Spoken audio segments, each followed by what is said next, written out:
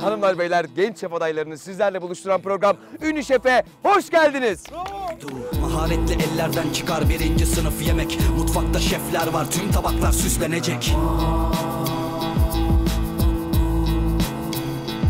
İki üniversiteli şef Ünişef, Cumartesi Bean Gurme'de.